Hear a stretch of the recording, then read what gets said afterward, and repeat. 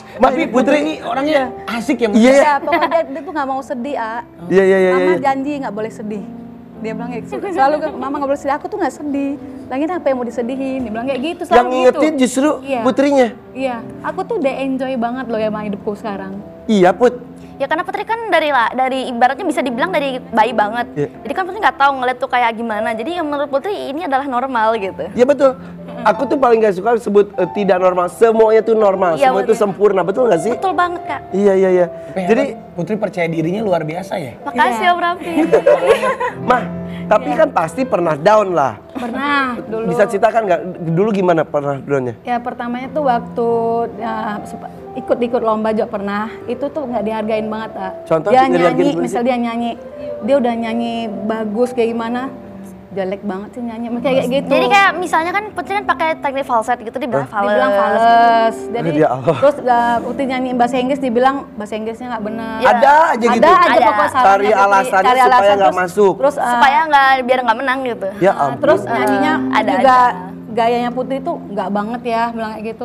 Dia gaya tuh mau gimana ya? Saya mau ngajarin juga gaya Iya. gimana gitu loh. Ya itulah Putri gitu loh. Iya iya iya. Tapi hebatnya pasti kan mama yang ngajarin nih. Berarti mama bisa nyanyi dong, Ma. Enggak. Ah, Oh nggak masa? bisa, jangan gitu dong orang Ah, Mama Nggak kok bisa. Papa, ah, papa, ah, papa, nggak bisa. Mama bisa nyanyi nggak, Put? Enggak. Enggak, enggak, Mama enggak. bisa nyanyi nggak, Put? Pengen nggak bisa tapi ntar takut takut. Enggak, Ya, enggak. Papa, nggak bisa, nggak bisa. Ya, yang bisa tuh papa. Papa. Oh papa, kita panggilin dia papa. Gak ada, gak ada, gak ada. Papanya yang terkejut. Ada. Kapan datang ya? papa, papa lagi nonton di rumah. Halo adik-adik aku yang lagi nonton di rumah. Ada Devin, ada Bania lagi nonton di rumah. Ini anak pertama mah. Iya. Wah, tapi mam, yang down itu sebetulnya tidak hanya Putri. Pernah down maksudnya.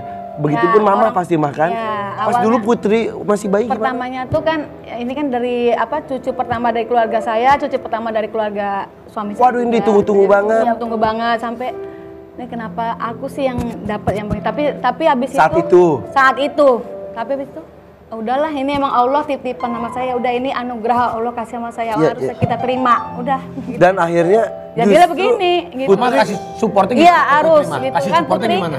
Gimana pun Putri Putri ada yang terbaik bagi mama. Nah. Jadi mama menguatkan diri sendiri dulu, Iya. baru bisa menguatkan Putri, gitu. Tapi dia lebih kuat, Ah. Ternyata sekarang. Tapi aku emang aku salut sama Putri loh. Ya, dia lebih Putri kuat sendiri. con- confidence banget. Iya, iya, iya, iya, iya. iya. percaya diri kan nggak gampang. Putri gimana sih Bu, uh, kasih motivasi ke semua teman-teman Ya. yang mungkin ada juga yang tunanetra, ada juga yang masih Tapi malu-malu. minder. Ya. Nah, biar Coba Putri kasih- kuatin kasih mereka semangat. gimana, Ah, Put? Kasih Putri semangat. punya quote sendiri kok. Ah. Ya, jadi awalnya tuh eh, find your passion, temukan passion gitu. Oke. Terus kalau misalnya kita udah passion nih, kita berarti udah nyaman sama apa yang kita lakuin. Mau dalam mood apa pun, dalam kondisi apa pun, kita tetap enjoy, kita tetap happy. Istilahnya mood boosternya kita banget itu ya Passion kita. Ya, terus yang kedua kalau udah gitu lakukan apa yang kamu sukai. Do what you like, do what you love. Karena kalau kita melakukan sesuatu secara terpaksa itu rasanya tuh nggak enak banget. Kita Ya. pasti effortnya gede banget gitu. Iya, iya, iya. Yang ketiga adalah eh, ubah insecure jadi bersyukur. Ah. Itu tuh keren. Quote yang ketiga, ubah insecure jadi, Jadi bersyukur. Iya. Jadi Wow. karena kalau kita insecurean aja terus kerjanya insecurean kapan kita mau bersyukur gitu. Hebat ya. Terus ma- makanya nyambung sama yang keempat, kurangin overthinking, banyakin positive thinking. Wih. Karena akarnya akarnya akarnya insecure itu menurut Putri overthinking tadi. Iya, iya, iya, Jadi iya, yang iya. menyebabkan insecure ya overthinking itu tadi. Makanya Putri bilang kurangin overthinking, banyakin positive thinking, kita pasti bisa ngejalanin eh, hidup yang happy happy life, happy life. Tuh.